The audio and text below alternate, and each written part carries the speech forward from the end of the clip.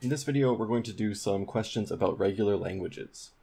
So for the first one, we're going to determine if the string 00010 is in the language for each language presented. So uh, a quick reminder is that if we have a language E or sigma, which is which is 0, 1, then sigma star is going to be all possible outputs. So it could be the empty, it could be 0, it could be 1, it could be 0, 0, 0, 1, 1, 0, 1, 1. So it's all possible combinations. So when we see a star here, that means that we can have 0 of those, 1 of those, 2 of those, 3 of those, so on and so forth. Okay, so quick reminder, let's take a look at the first one. L1 is 0, 1 star. So this basically says we can produce any string of 0 and 1.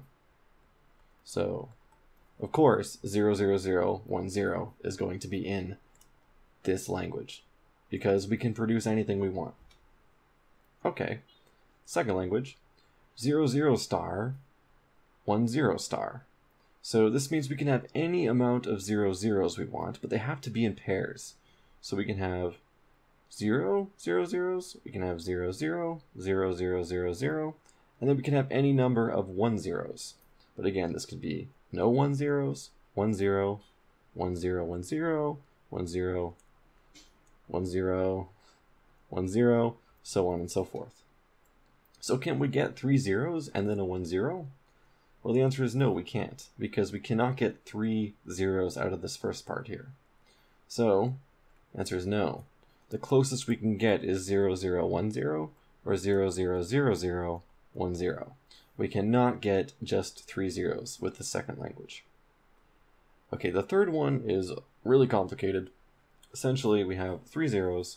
We have a zero star, a one star, a zero zero star, and then a zero. So remember, all we want are three zeros, a 1, and a 0. Well, the first part says, okay, we have to have three zeros. And then we go along, we can put some stuff in between, and then we have to end it with a 0. So is there any way out of this part here that we can get just a 1 out of it? And the answer is yes. So, first of all, we take 0 of these zeros, we take 1 of these 1s, and then we take 0 of these 0 zeros and then our resulting string is 0010. So for language 3, we are good. Okay, so that's the first question. The second question, I have sigma is xy, and we want to find the language in sigma star that accepts certain strings. So before we went uh, from a language and we tried to see, okay, is the string in there?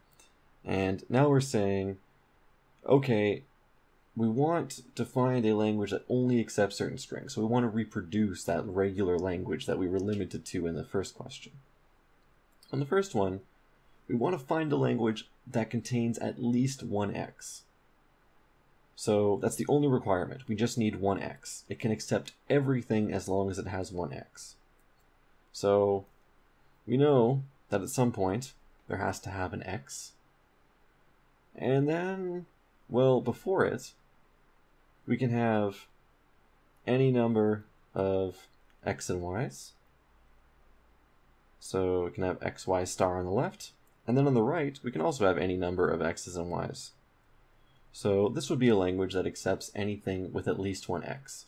So I'm not going to put uh, curly brackets around just singletons here, but this is saying, look, we can have anything, then we have to have an x, and then we can have anything after it.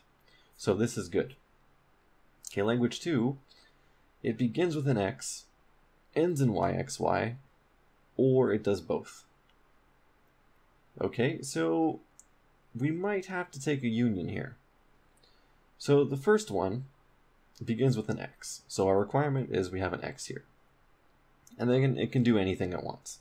So then we can take any pairs of X and Y, any set of XY, and we'll accept the string.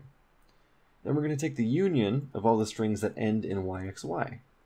So again, the first bit can be anything in the second set, and then it has to end in yxy. So here we're good.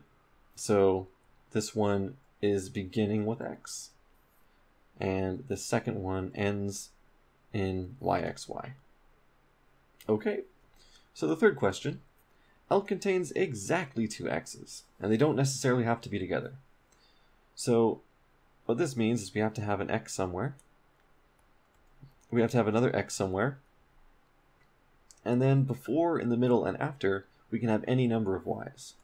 So before, we can have y star, in the middle we can have y star, and after we can have y star. So this would be the language that contains exactly two x's. And again, uh, I don't have the curly braces around the y's, but there's only one symbol there, so I'm just omitting it. So those were questions on formal languages. If you have any questions, please leave them in the comments below, and I'll answer them the best that I can.